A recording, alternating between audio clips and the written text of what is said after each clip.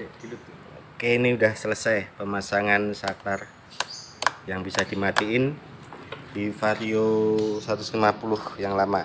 Nah, ini saklarnya yang lama.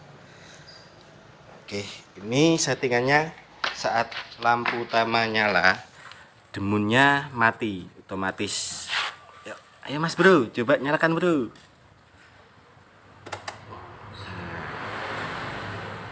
Oke lampu utama ini saat lampu utama on lampu biasnya mati. Back beam. Lampu jauh. Di lampu jauh oke. Yes. pateni oke selesai.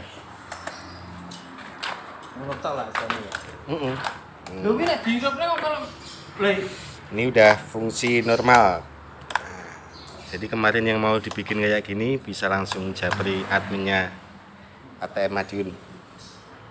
Oke makasih